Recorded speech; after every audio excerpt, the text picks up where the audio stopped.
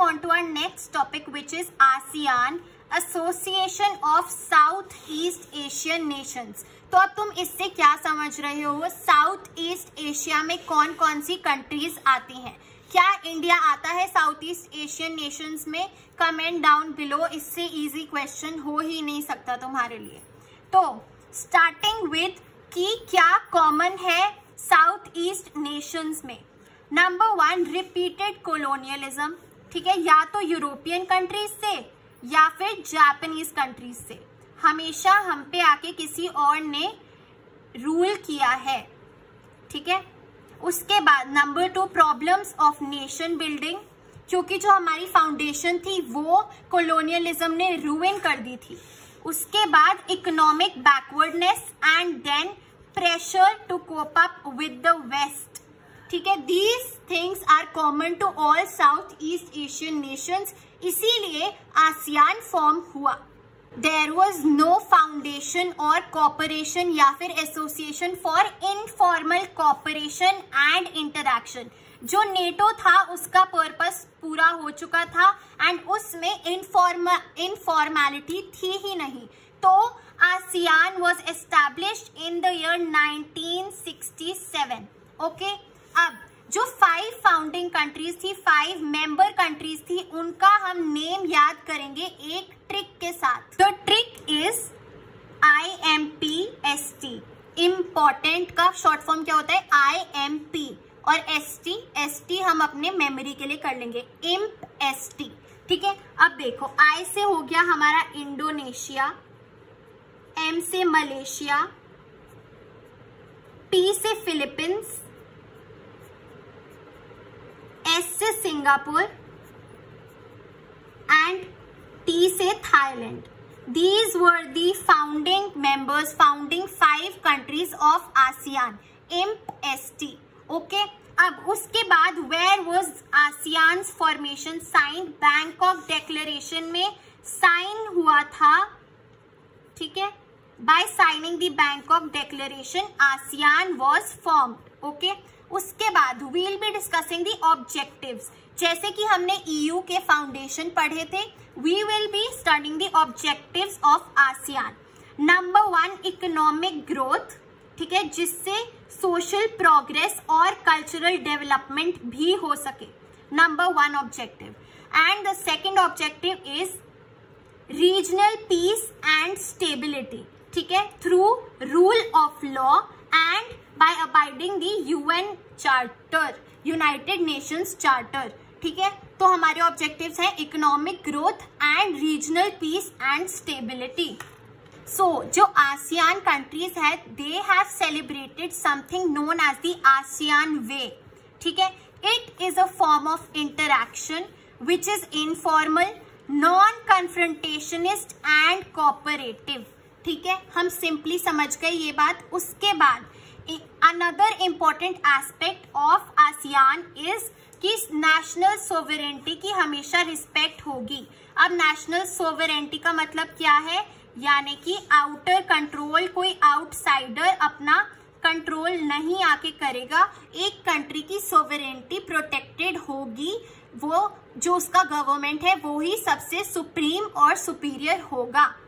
उसके बाद something important इस पे आंसर आता है मोस्ट इंपॉर्टेंट टॉपिक कि ASEAN broadened its objectives in 2003 by creating the ASEAN community ठीक है?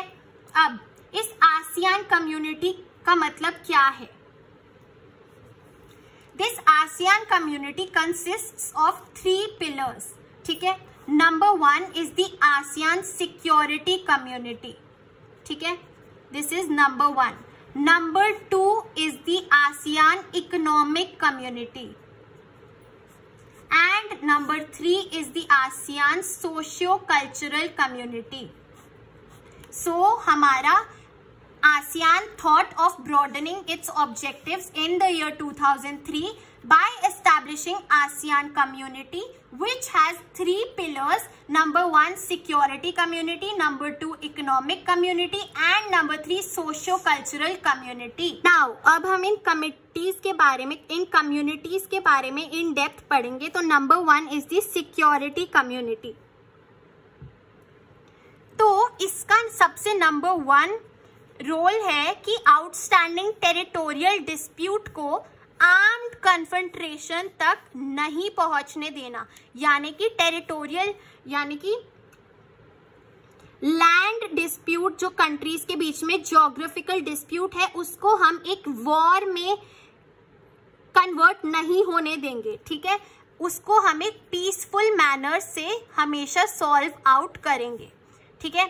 इवन अग्रीमेंट्स भी इन प्लेस करे गए हैं to maintain peace neutrality cooperation non interference and sovereignty ठीक है? उसके बाद the Asian regional forum A R F Asian regional forum which was established in 1994 ठीक है? Is the organization that carries out coordination of security and foreign policy of the ASEAN ठीक है? ये हमारा सब कुछ आता है सिक्योरिटी कम्युनिटी के अंदर। अब इसके बाद है हमारा economic community so the objectives of ASEAN economic community is to create a common market and production base for all the South East Asian nations ठीक है कि एक ही मार्केट हो और एक ही प्रोडक्शन बेस हो, जिससे कि सोशल एंड इकोनॉमिक ग्रोथ और डेवलपमेंट हो ऑफ़ द कंट्रीज़ टुगेदर उसके बाद सेकेंड जो उनका रोल या ऑब्जेक्टिव है is to improve ASEAN dispute settlement mechanism to resolve economic dispute peacefully and the number third thing is the free trade area ठीक है, इसमें क्या होता है? It's a free trade area for investment labour and services ठीक है the USA and China have already moved fast to negotiate FTAs with the ASEAN na nations. Now coming on to the third community, socio-cultural community. ठीक है इसका सबसे पहला important feature है is to regulate regional organization ठीक है its vision 2020 has defined an outward looking role for ASEAN in international community. ठीक है? इट एनकरेजेस नेगोशिएशन यानी कि बातचीत ओवर कॉन्फ्लिक्ट यानी कि लड़ाई से ऊपर बातचीत करके मामला सॉल्व कर लेना। ठीक है? उसके बाद three important things at the end of this topic is कि जैसे हमने फ्री ट्रेड एरियाज़ की बात करी तो इंडिया ने किन दो कंट्रीज़ के साथ फ्री ट्रेड अग्रीमेंट साइन करे?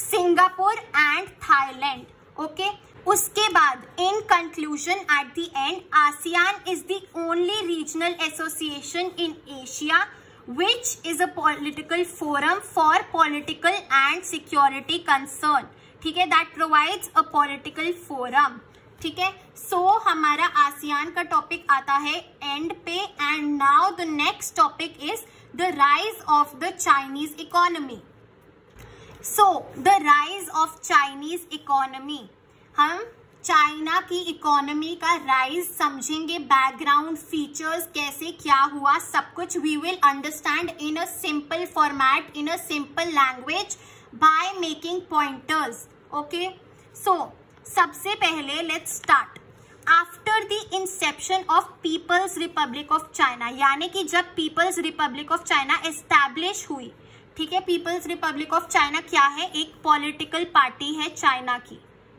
ठीक है? Which was establish in 1949 fine ठीक है? फॉलोइंग द किसके बाद हुई थी ये जो कम्युनिस्ट रेवोल्यूशन आया था? माओ का. Mao was a Chinese leader तुमने कार्टून्स में देखा होगा पॉलिटिकल साइंस के, ठीक है? So following the communist revolution by Mao People's Republic of China was established in 1949 ठीक है?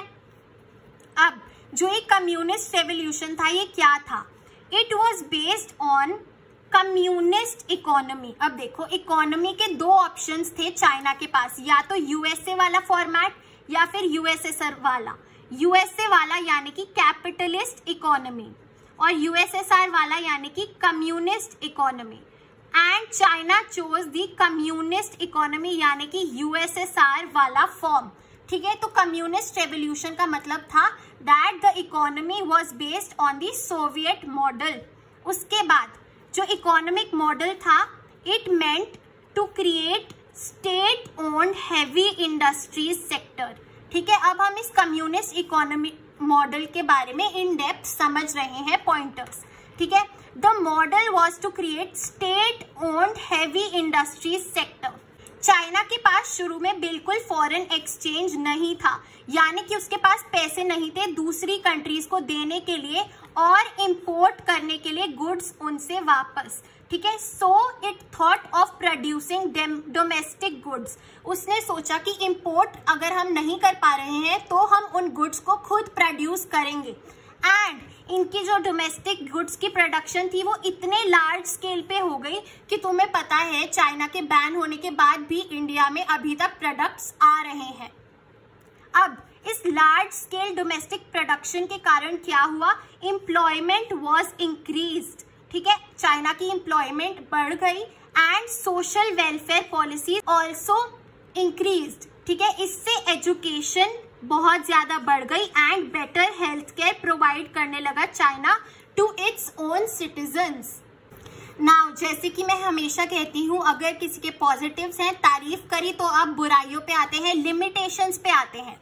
इकोनॉमी तो चाइना की फाइव टू सिक्स परसेंट बढ़ गई थी ग्रो हो गई थी but then also population annually two to three percent increase हो रही थी, जिसकी वजह से जो एग्रीकल्चरल प्रोडक्शन था, वो बहुत डाउन जा रहा था स्लो था सरप्लस था ही नहीं चाइना के पास, ठीक है? और जो इंडस्ट्रियल प्रोडक्शन था, वो भी ग्रो बिल्कुल नहीं हो पा रहा था। इंटरनेशनल ट्रेड तो होता ही नहीं था एंड जो पर कैपिटा इनकम थी, वो भी बहुत लो थी, ठीक है?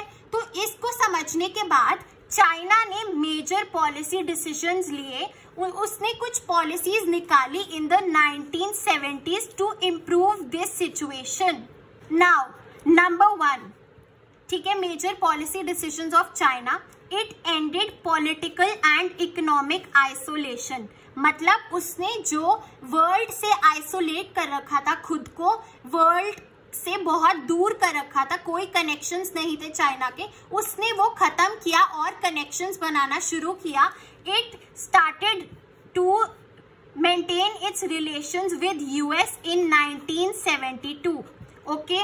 So the first thing was it ended political and economic isolation. Number two, four modernizations were proposed by Premier Zhou Enlai, which was the leader of China at that point of time. ठीक है four modernization were propose by premier Zhou Enlai ठीक है अब ये four modernization क्या थी agriculture industry science and tech और military इन चार फील्ड्स में थी। 1973 में हमारा फोर मॉडर्नाइजेशन आई और उससे पहले 1972 में हमारा पॉलिटिकल और इकोनॉमिक आइसोलेशन वॉज़ के बाद the third thing which was established या फिर इम्प्लीमेंटेड या फिर introduced was the open door policy ठीक है ओपन डोर पॉलिसी और इकोनॉमिक रिफॉर्म्स को इंट्रोड्यूस किया चाइना ने। इन 1978 बाय डेंग जियाओपिंग ठीक है, ये तब लीडर था डेंग जियाओपिंग ये नाम तुम्हें याद करने ही पड़ेंगे, इनकी कोई ट्रिक नहीं है। इसके बाद the fourth thing the fourth major policy decision was introducing own market economy अब देखो, इस बात से तुम समझो, इसको हम शॉक थेरेपी से रिलेट करेंगे कि 1991 में जब यूएसएसआर का डिसइंटीग्रेशन हुआ तो उसको प्राइवेटाइजेशन करना पड़ा था, है ना? एंड उसकी वजह से शॉक थेरेपी आ गई थी रोल में, है ना? अगर नहीं देखा तो जाके पिछले चैप्टर से अच्छे से पढ़ो। Within thirty minutes complete chapter done है। तो चाइना ने शॉक थेरेपी को नहीं फॉलो किया। उसने अपनी खुद की step by step progress achieve करी, खुद की मार्केट इकोनॉमी इंट्रोड्यूस करी। तो उसने खुद प्राइवेटाइजेशन किया। सबसे पहले प्राइवेटाइजेशन ऑफ़ एग्रीकल्चर हुआ 1982 में। उसके बाद प्राइवेटाइजेशन ऑफ़ इंडस्ट्री हुआ 1998 में। एंड फिर ट्रेड बैरियर्स हटा दिए गए and special economic zones were introduced ठीक है? उसके बाद जो मेन फीचर्स हैं state had central control over the economy जो पूरा सेंट्रल रोल था इकोनॉमी के ऊपर, वो स्टेट के पास था. Foreign direct investments were introduced in China ठीक है? And China's accession to World Trade Organization in 2001 is also a remarkable event for its progress and growth of its market economy now coming on to the limitations ठीक है, वही बात आ गई। अभी तारीफ़ करी, अब वापस से बुराइयों पे आओ। लिमिटेशंस क्या रह गया था? कहाँ प्रोग्रेस नहीं हुई? क्या क्या लिमिटेशंस है? नंबर वन अनएम्प्लॉयमेंट ठीक है, बहुत ज़्यादा अनएम्प्लॉयमेंट हो गई थी with nearly hundred million people looking for jobs number two female employment and condition of work were not good were as bad as in Europe in the eighteen and nineteen centuries environmental degradation और corruption बहुत ज़्यादा था and economic inequality poor poor होता जा रहा था और rich rich होता जा रहा था। बहुत ज़्यादा इकोनॉमिक गैप था। These were the four limitation ये इधर लिखी हुई है। You can go and read your chapter now and make notes just like these और ऐसे ही तुम्हें पॉइंटर फॉर्म में आंसर लिख के आना है। इसके बाद coming on to the last topic which is India and China relation देखो, ये पेज नंबर 61 पे गिवन है। इसको मैं तुम्हें पढ़ाऊँगी नहीं बिकॉज़ इसमें एक्सप्लेन करने का कुछ नहीं है। जाके पॉलिटिकल साइंस बुक वन के नोट्स, मेरे नोट्स की वीडियो है, वो जाके वॉच करो। I link it right here उसमें इसके सारे पॉइंटर्स दिए हुए हैं। इंडिया एंड चाइना रिलेशंस के almost ten to fifteen points हैं। वैसा ही तुम अपनी आंसर शीट में लिख के आओगे। Go and check those notes out right now उसी से तुम्हारा ये पूरा टॉपिक खत्म हो जाएगा। And the chapter comes to an end.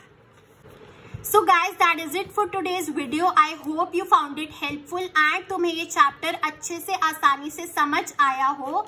All the best and happy learning don't forget to like share and subscribe to my channel